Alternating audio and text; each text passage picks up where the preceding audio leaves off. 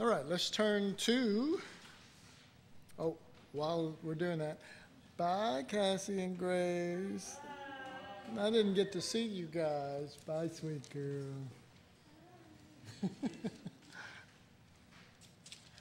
Turn to. Ah, there it went. John chapter 8. and, um, you know, Jesus, the thing about Jesus as a man is that he stood for God and he stood for the truth. And, and I'm saying that because he didn't stand for himself. Okay? Um, we hear, you know, anybody can say, Jesus stood up, he stood for God, or he stood for the Father, or he stood for the truth. But, folks, that's not the whole picture. He stood for God and he stood for the truth and not for himself. Okay? And uh, he, he walked this earth to glorify the Father. And, and we'll see this over and over throughout this course. But in, in different situations, he didn't seek for personal advantage in those situations, which most men do. If you're not of this new man, then we're, we're feeling our way through every situation trying to find the advantage for us. And um, this, this spirit is not asking to be raised or uh, exalted or sustained, it's just happy to exalt the Father and to not seek for official glory of its own. Um, you know, Jesus said something like, it, um, the disciples said, uh, Are you hungry and we need to get something? He says, No, I have something to eat that you don't know of. He's living off of something that other people, even disciples, don't even know of. You know, say, well, how do you explain something that people don't know of? Well, you don't. The Holy Spirit does. But you must be faithful to the Word of God and to the truth. And, and more importantly, in this situation, we must be faithful to Him, not just what He did, because we are seeing Him in the true glory in which God exalted Him and not the glory that most people would exalt someone over. so it was His meat, it was His food to do what pleased the Father. Um, so in. Um, John chapter 8 and verse 25. Then said they unto him, Who art thou? Now this is this happens quite a bit, or not not a whole lot, but I mean it happens quite a bit where the people are just saying. In fact, there is one place where they say, Look, just tell us. Just tell us plainly. And and he then he says something, but he doesn't, you know, he didn't say, I'm the Messiah. Okay, I'm the Messiah. Okay, I'm the Son of God. I'm it. He frustrates the fool out of him because he won't exalt himself. Okay? So they say, Who art thou? And Jesus saith unto them, Even the same that I said unto you from the beginning. They go, Well, we weren't there the first day you started your ministry. Maybe he's not talking about that beginning. Um, and then he says, I have many things to say unto you and to judge of you, but he that sent me is true. Look at this. He, they're going, Who are you? And he says, Well, look, I got a lot of things I need to tell you, but I'm telling you, he that sent me is true. See, he's, he's not wasting time on exalting himself. He immediately goes to the, the Father. He says, He that sent me is true, and I speak to the world those things which I have heard from him. So if you're getting anything from what I'm saying, it's what I got from him. Again, veiling, putting a veil on the Holy of Holies, and only those who are intrigued enough to want to press through will find out the true Jesus. Will find out the true Jesus. And that takes revelation or unveiling. The word revelation means unveiling, renting the veil. And so Jesus says, or he says, uh, verse 27, they understood not that he spoke to them of the Father. They, they are saying, Who are you? And so he starts talking, but he's not exalting himself and he's speaking to the Father, and they don't get it. Why? Because all people speak of themselves. All people promote themselves. All mankind, except this new kind of man, this new creation, are in it for what they can get out of it. All right? And so they're not going to understand it. And then verse 28 Then said Jesus unto them, When you've lifted up the Son of Man, then shall you know that I am He, and, that I do nothing of myself, but as my Father hath taught me, I speak these things.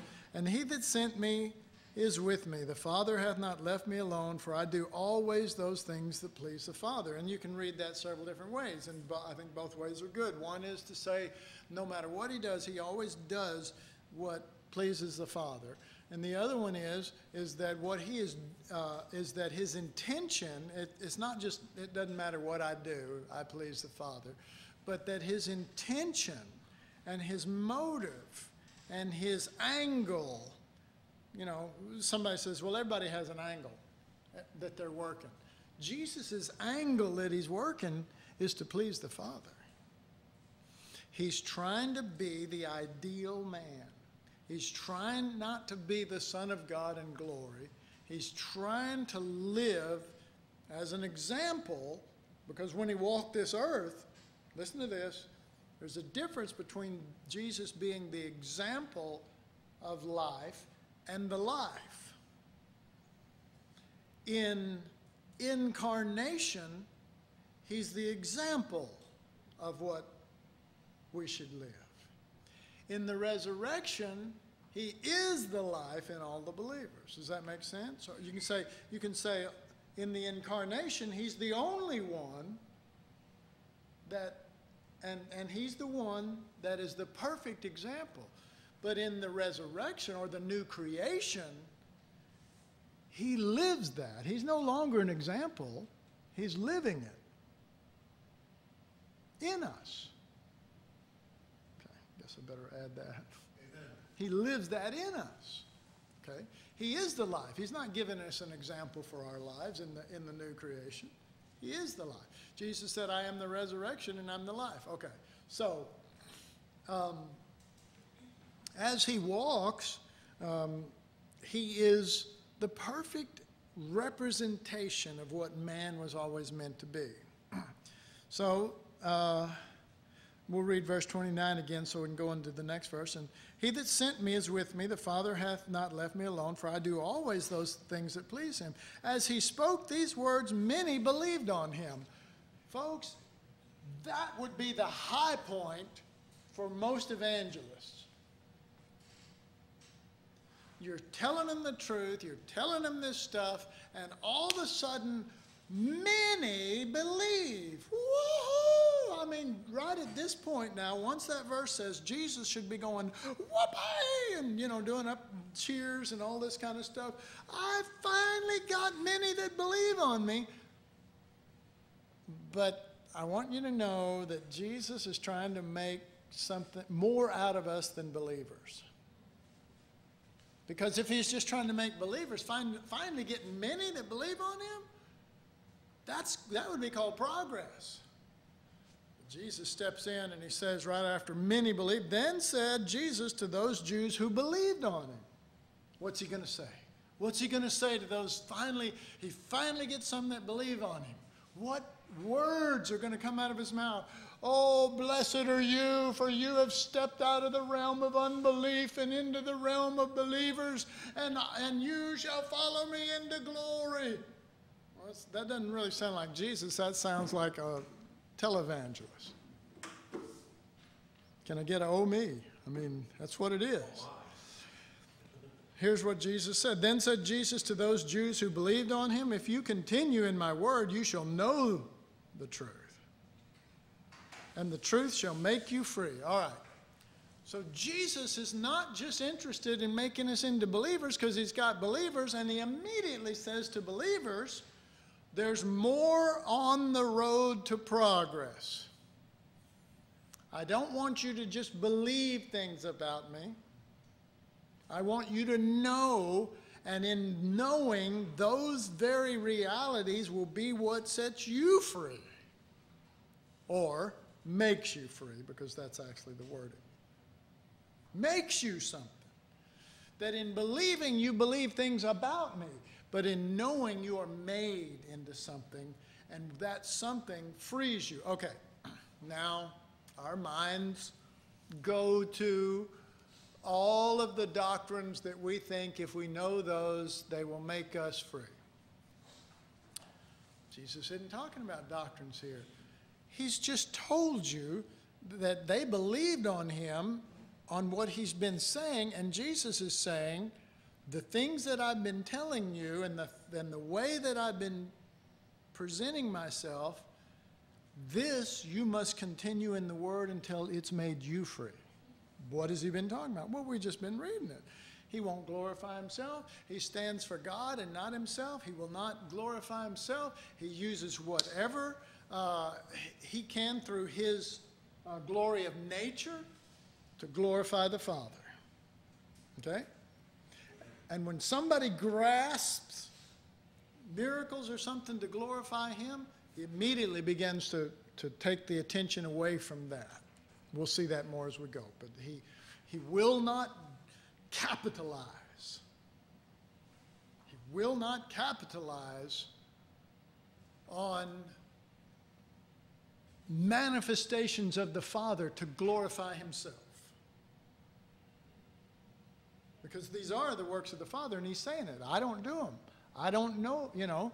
I mean, you know, there, you, you eventually get to a place where you can actually say, it's not I but Christ, and it not be blasphemy. You can actually get to that place where you're not lying. you know.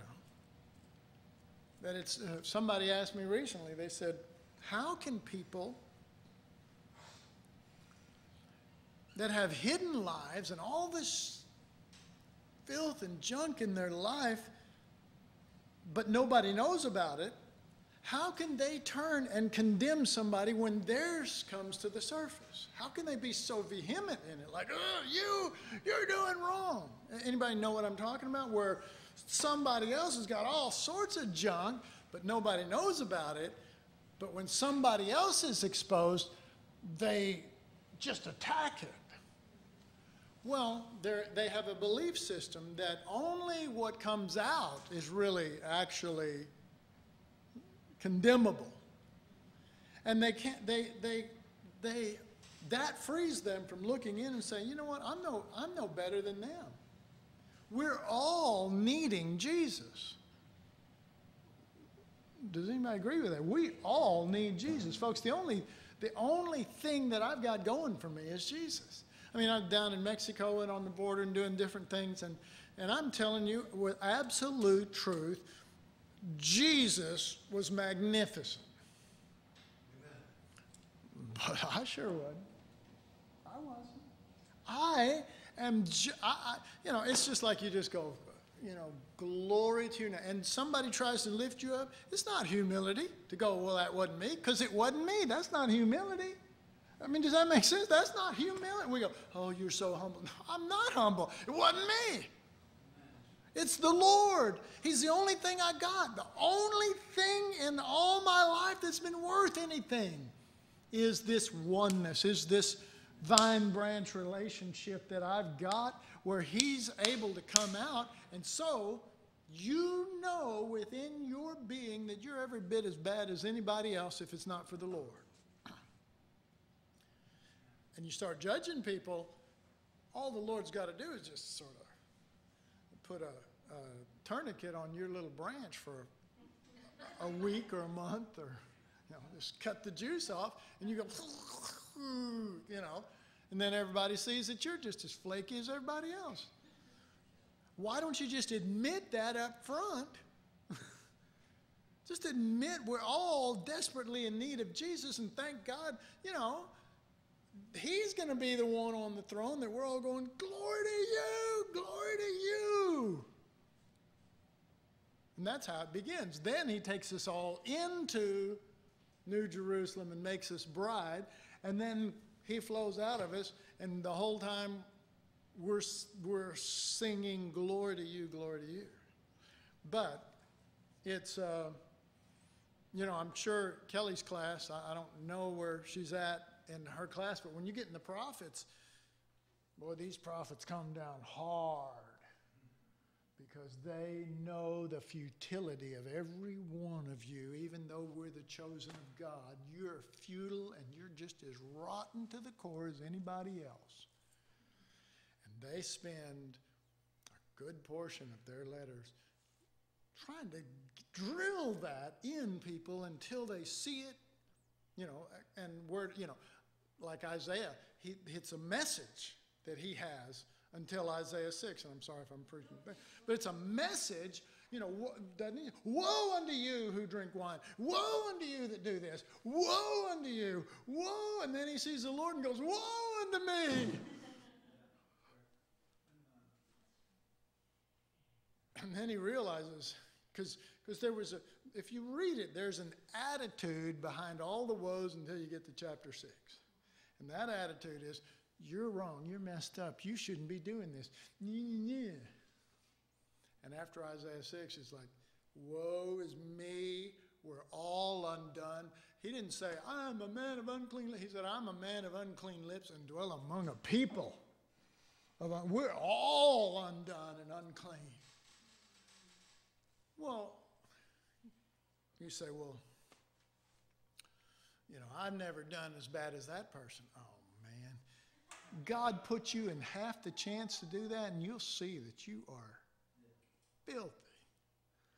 I was talking to a, a, a Mexican man down there and trying to minister to him over some issues, and, and he said that, that he'd gotten saved through this incident. He was yelling at his wife and his kids and knocking stuff around, and he was an alcoholic to that point. And all of a sudden, he started throwing up, and he had this T-shirt on, and he threw up all over himself. And and he's standing there, and he looks up, and he's standing in front of this mirror, and he sees what he looks like to them, and how he's been ranting and raving what he looks like, and he just goes, "Oh my God, this is me. I need Jesus," and that's how he got saved, which is pretty cool, you know, and. Uh, and so now here it is because he was an older man now and he's come to me over some issues and some problems that he've got. And i said what'd you do with that shirt when you stood there in front of that mirror? He said i threw that thing away. I said it's time to throw this one away too. We're the same unless it's the lord. No i didn't say we're the same without the lord. I said we're the same unless it's the lord and each and every one of us and don't get high and mighty looking down on people or thinking you're better because God will show you. It's just better to, you know, what my words is make your words soft and tender, for you may have to eat them someday. You know, you know. Well, people want uh, people want you to think that they go through life in perfection. Ha! They don't. They don't. Jesus is the only hope of every human being on this earth. And the hope of Jesus is not salvation. The hope of Jesus is that we, in Jesus, is that we know the truth, and the truth that He lives by gets in us and makes us something. It makes us free from what we were before. Then we begin to live to glorify only the Father and not to take advantage of situations so that we can glorify ourselves. Or, or here's what I mean by that bring about official glory for us in the earth.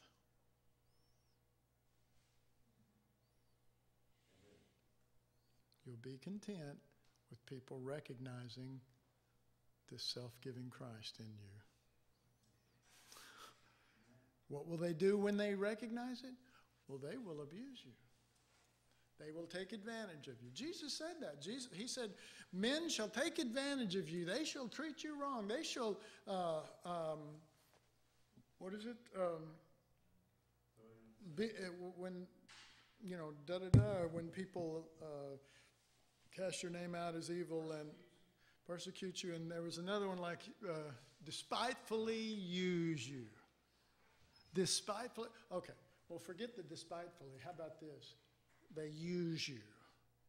They use not just the Lord that you have in you, but they use this willingness to give when they don't deserve it, to give unto them, to minister to them when they know they don't deserve it. And yet they'll use it, and then they'll go away and they'll forget about you, and, you know.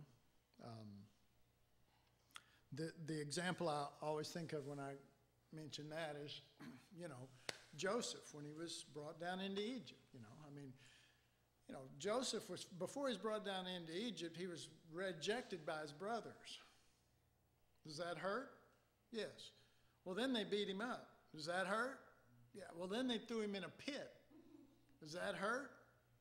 Yeah. Then they sold him to Ishmaelites on their way to Egypt and made money off of it. Does that hurt? You know, most of us haven't gone that far. so he goes down. God blesses him.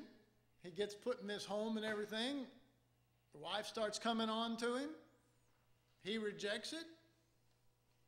So she lies to it, lies about it, and says all this stuff happened. Husband sees that he's thrown into prison.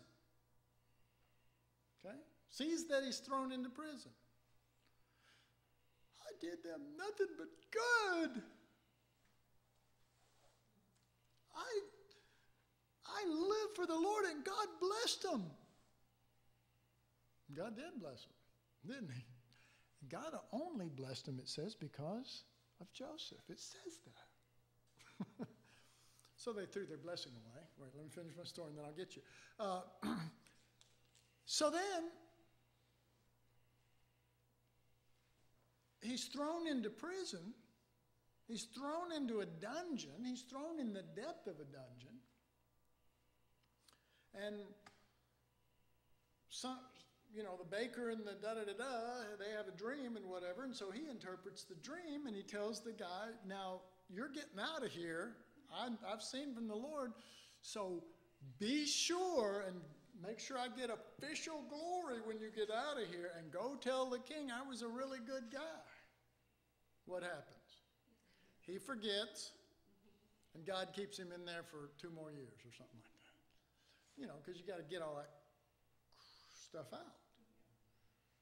You do. You know, it's like, okay, I'm sorry, my God, every time I do this, it sets it back another two years or another five years. I need to get this right. Anybody ever thought that?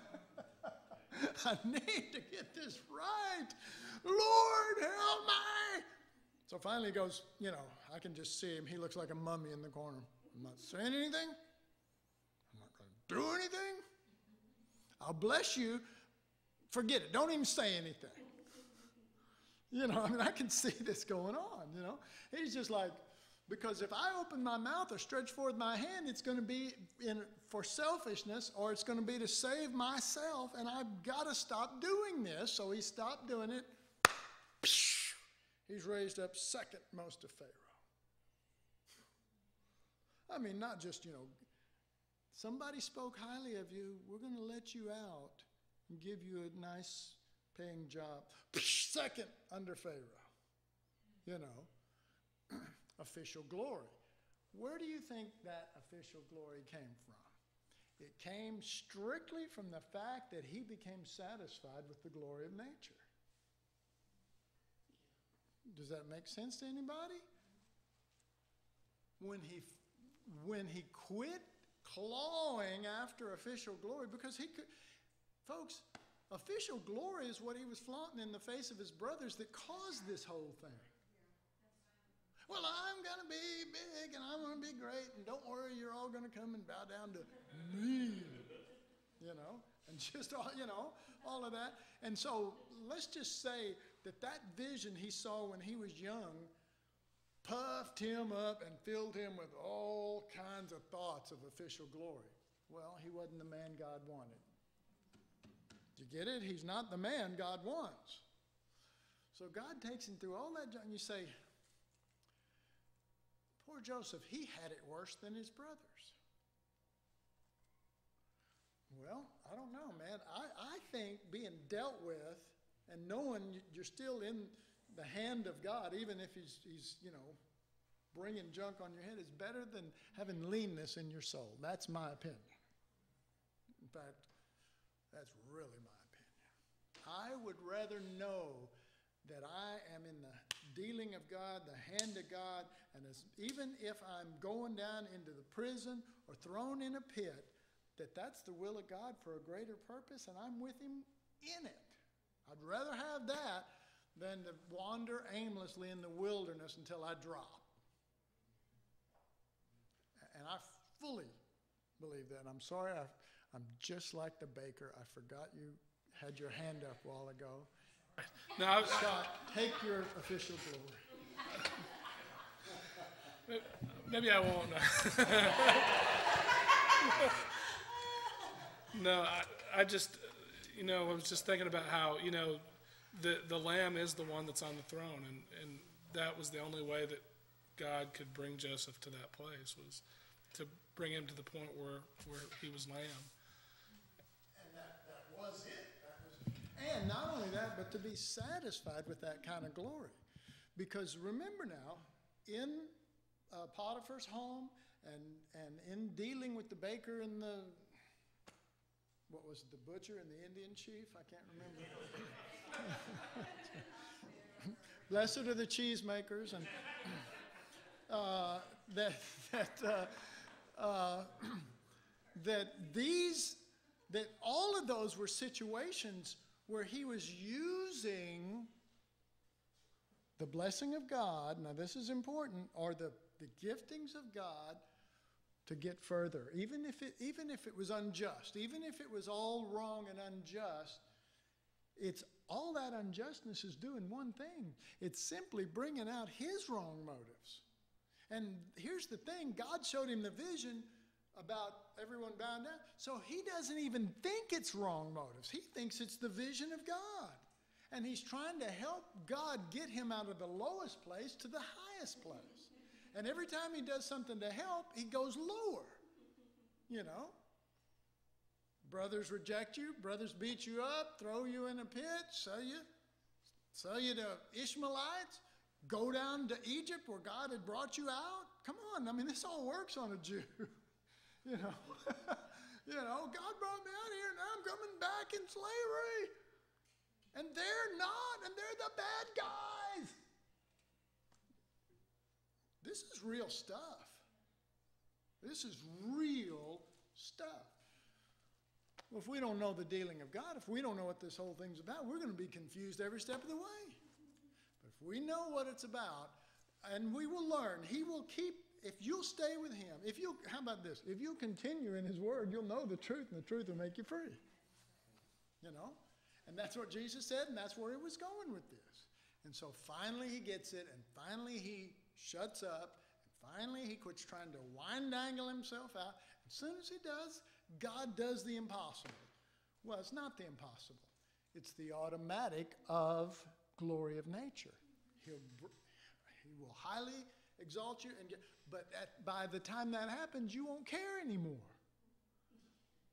No, you won't. I'm telling you the truth. You won't care anymore because you've been made free, or you've been made lamb, or you've been made one with him. You've been made after his likeness and in his image and in his nature.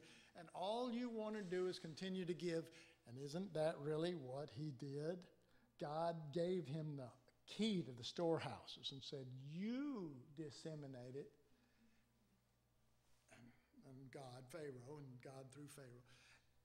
And all he did was pour out as people came from all over the world, and he gave, and he blessed, and he poured out. He was still, it was still the glory of nature working in him, not official glory, outward acknowledgement,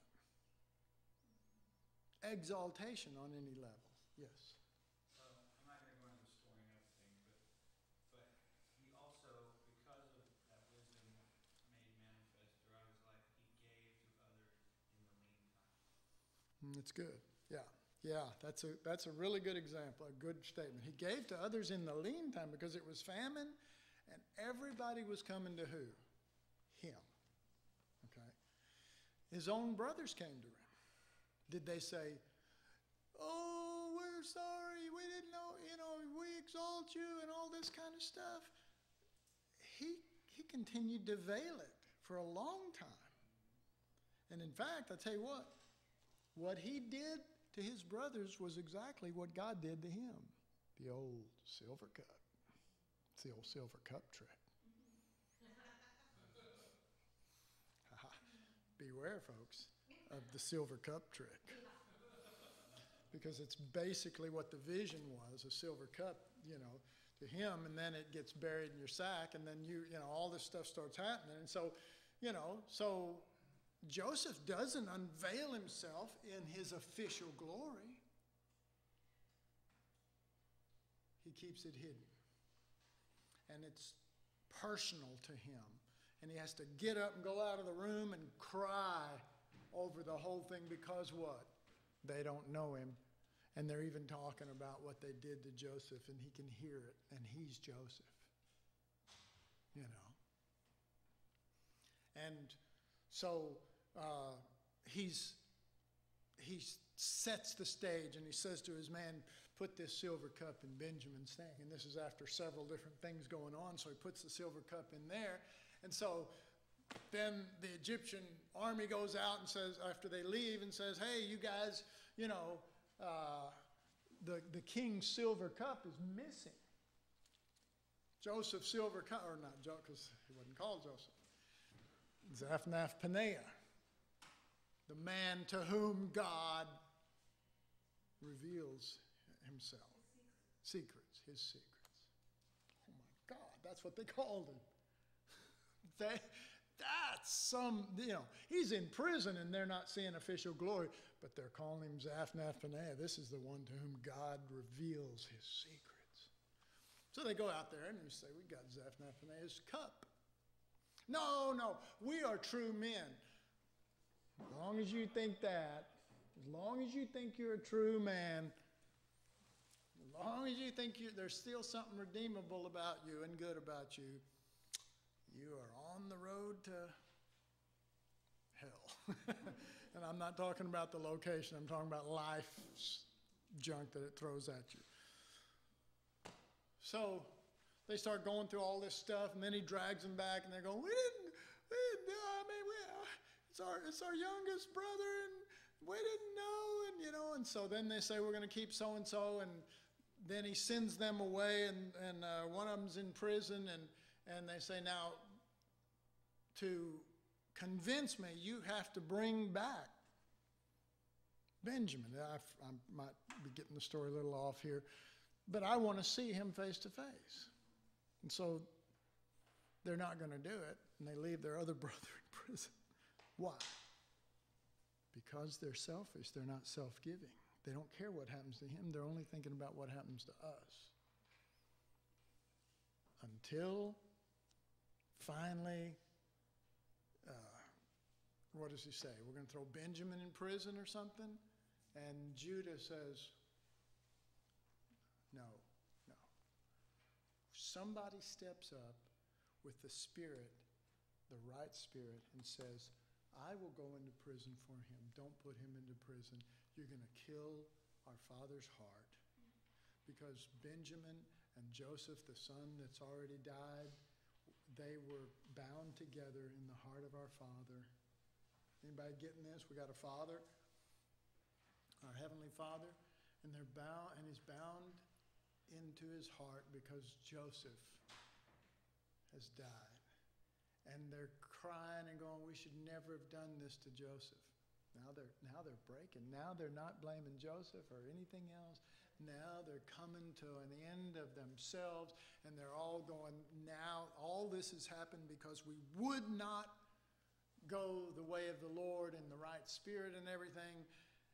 But Judah steps up to the plate. He says, I see what's needed here. I'll, I will stay here. I will go into prison. I'll be the one that will self give. I will lay down my life. that busts the whole thing wide open. The release of that spirit.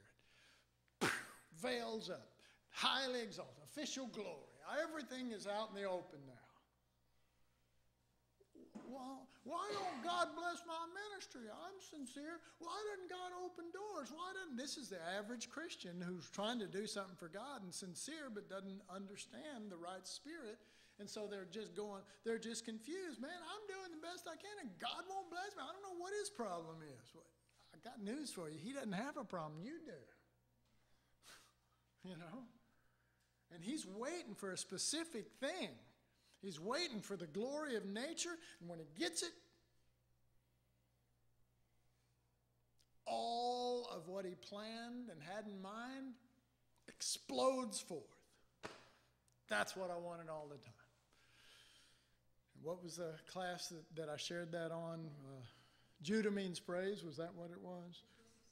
The Joseph series, which I shared 24 or something, a bunch of classes on that one. Anyway, so what I just shared here was in 24 classes. And, but, um, well, let me just read a little bit here because I've done an awful lot of talking. Uh, Jesus stood for God and truth and not for himself. He did not seek the personal advantage of the situation. He asked not to be raised or sustained by others. Uh, but contrary to that, we honor or dishonor people as to how they best affect us. We judge them as to how they treat us. Our interest in them is based on what effect they can better influence and improve our lives or status. The people connect the possession of power or prosperity with the means for serving their own interests and advantage. In other words, um, I, you know, this could be anybody, but at this time period that I'm reading this and addressing this, who got voted in as president? Okay, don't say his name so that we don't all get attacked. But somebody got voted in as president. Did they vote him in primarily because of the stand that he has on issues or because of the benefit they thought that he would bring to their personal lives and, and status as to how they live. And you, you know, you answer that for yourself. But what if it was really had nothing to do with politics or or a moral stand or any of that? None of that ever came up. It's just that I will do this and the economy will better be better. I will do this and you won't have as many taxes. I will do this and, so everybody's going, me, me, me, me, me. Yeah, he's our man. He's the perfect one for me. okay, so I'm just trying to get you to see. I'm not, I'm not trying to put anybody down, and I'm not trying to be political, but I'm just trying to show you. Uh, in fact, I'm not even talking about the person. The reaction of the people was what he wouldn't even be in office if, if people had a, a platform. but there wasn't even a platform. It was just simply everything was said this will improve your life and this will do this and that. Okay. Well, that's not necessarily that he's wrong, but it is certainly necessary that we uh, uh necessarily a fact that we are wrong if that's our motivation. In other words, how did how did I read it? Um, we connect the possession of power or prosperity or position with the means for serving our own interest and advantage. But Jesus is not doing it so he can get back homage or position from them. When he's walking the earth, he's not doing that at all. He's discouraging a lot of that. Don't tell anybody. You know, don't go spread this around. you know. Completely opposite of what evangelists do today or ministers.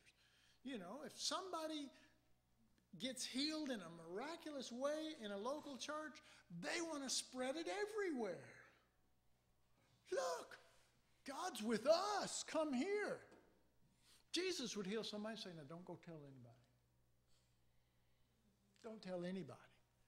Why, Jesus? Well, you'll get more glory. I'll get more official glory. Am I right or wrong? I'll get more official glory. All right. So um, he does it to serve the needs of man and not just their interests. to serve the needs of man and not just their interests or their advantage. This is going to be hard to say just by verbalizing it. I believe that Jesus primarily moves to minister to people's needs, not their advantage. Okay, now what does that what does that mean? What does that say? Well, it says that when our motivation is to get advantage over somebody or get position or move up or to be seen or glorified with official glory, he's not interested in helping us. I mean, think about that. But when we're just in need, when we're just the poor, this poor man cried unto the Lord and he heard my cry. When we're nothing but just needy to him, he comes and he sees that we're, there's no, it's not a evil motivation going on. We're desperate. And he's there. You know. Problem is, not too many people get desperate. How, you know, how much does it take to get the average person to a place where he's desperate for God? Oh my God. You know, it takes a lot. All right.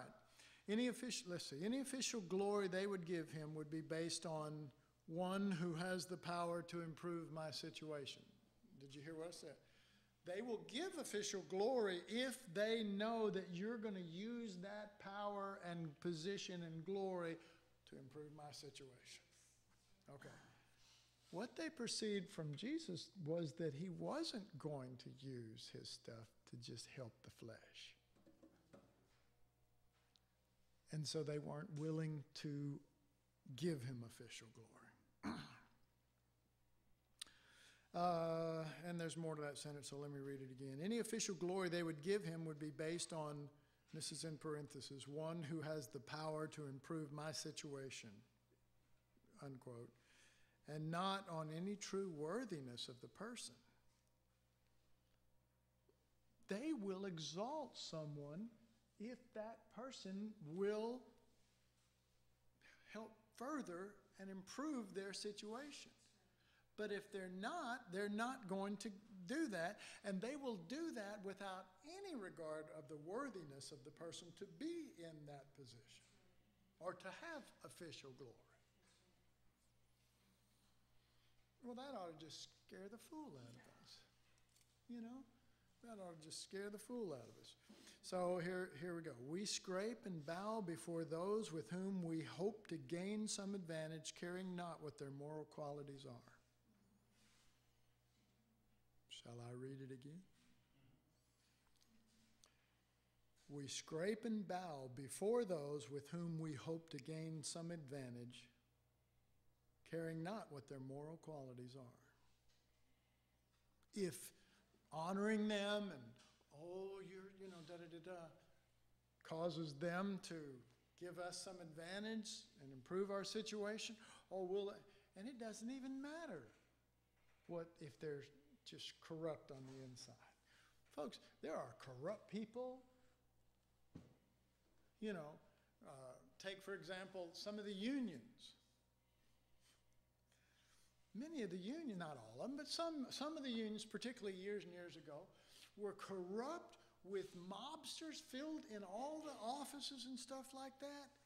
But the people put them there. They didn't just put themselves there. The people put them there because these guys said, I'll make sure your wages are high and you get your rights and we'll take care of you. And they said, You're our man. He said, I'm Jimmy Hoffa. I'll cut heads off and kill people, but I'll get you some more money. I might have to cut your head off if you get in my way, but we won't mention that right now. So it's like, um, okay, we want you. We want Hoffa. Now you got half a Hoffa. Anyway.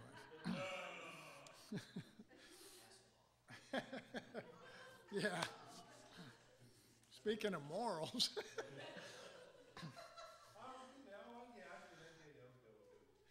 and, you know, and I'm going to end with this because we're almost time. But, but if you consider our society, you know, some of you haven't been around that long, but our society has totally changed from one that used to honor people of moral character and whatever. And it's moved to people that don't, you don't even have to consider their moral character if they're a good athlete, meaning if they have good gifts and whatever, or they're, they're an actor that everybody goes, oh, you know. All an actor has to do is act a part of a person with good character. And we see the movie and we go, oh, I just love so and so. You know, and then it comes out later that, you know, you go, oh my God, what happened? You know, oops, he slipped. Well, what if he didn't slip? What if he was always that way and you watched a movie? You fell in love with a movie. You know, and, and that does happen in this country. And that, that is a regular thing. Um, you know, this, I, I could be killed for this one, but we traded Tom Landry for Jerry Jones. Now, I don't know if you know who Tom Landry was, but he was an incredible coach, not because he was just a good coach, because he was an incredible coach, but because uh, I remember Bob Lilly saying, said, I love Tom Landry when he would get to the chalkboard and he'd start teaching us about football. And he would get through and we'd go, he, he was teaching us about life and how to treat one another and stuff. He said that, you know, and Bob Lilly's a upstanding, you know, guy. And Roger Staubach, you know, all this kind of stuff. We traded that in for Jerry Jones. oh my God. You know, and you say, well, he brought us three Super Bowls. well, you know, I'd rather have Tom Landry. He only brought us two. You know? But I'd rather, I miss Tom Landry. And I miss looking at a team that I was proud of from the inside out, you know, and that I felt like there's more to this than football. I don't want to just be a, a fan. I want, I, you know, I like to have everything that I really appreciate and respect have something of the Lord somehow behind. But okay, I got off. So, um, next next uh, class when we come back together, and please help me think of a title for that one because I've sort of wandered now. But the next class, I want to get more into this thing of how uh, of of Jesus, how he didn't demand official glory, and how when we get in situations like he was in, we would demand and expect official glory. We would, or we'd be upset if we didn't get it. And I want to show you clearly that Jesus didn't, and then I want you to come to the conclusion that that's the kind of life he wants to live in us, where we don't have to have all of that. The Father knows, and the Father's pleased, and that should be good enough for us. All right. Father, we thank you for your Son. We thank you that you didn't just give him to save our corrupt little rears. You gave him to be able to meld in and us with him so that he his life becomes ours and his nature becomes ours. And you are glorified by the son in us. Father help us help us to quit being so prideful and ambitious and to be uh, content content in whatever state we find ourselves we ask it in jesus name. Amen. God bless you